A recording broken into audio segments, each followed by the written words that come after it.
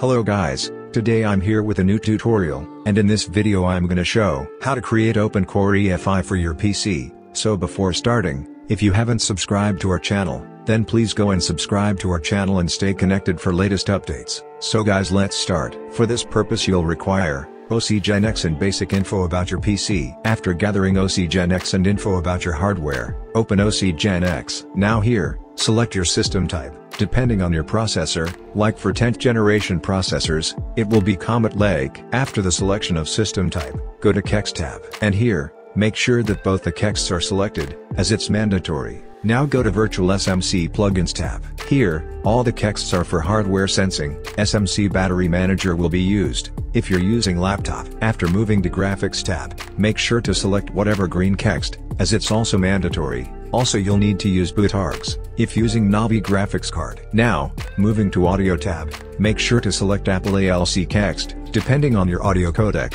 you can easily find the codec, on motherboard's manufacturer's site, and link to the list of ALC IDs will be in the description. Next to that, select the Ethernet KEX depending on Ethernet controller. You can easily find it on motherboard's manufacturer's site. After selecting right Ethernet KEX, move to next tab, and here make sure to select USB inject all KEXt. However, I recommend you to map all of your USB ports, as it's a temporary solution. If you're using AMD PC, the KEXt is not needed. The next thing we're going to cover is Wi-Fi and Bluetooth. If you are using any card which works out of the box, then it's not needed.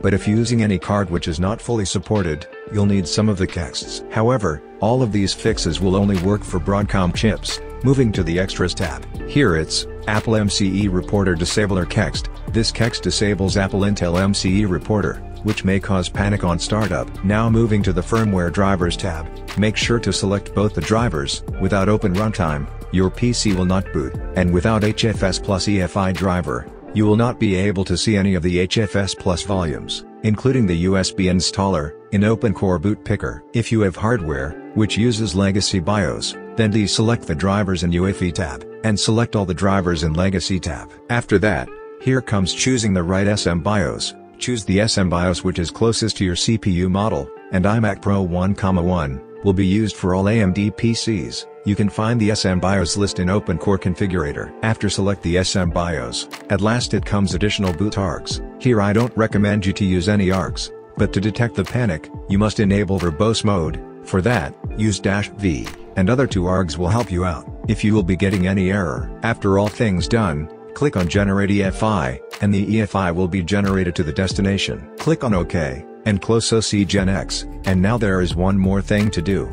You will need to use both the SSDTs, as it's mandatory for proper functioning of power management and USB power too. The SSDTs will be placed in ACPI folder. You can obtain it from OpenCore package. So guys, here it's full working guide on creating OpenCore EFI for macOS Big Sur. Hope you guys enjoyed the video. If you have any question, just comment down below. Thanks for watching and don't forget to like, share, comment, and subscribe. And for more updates stay connected and have a great day.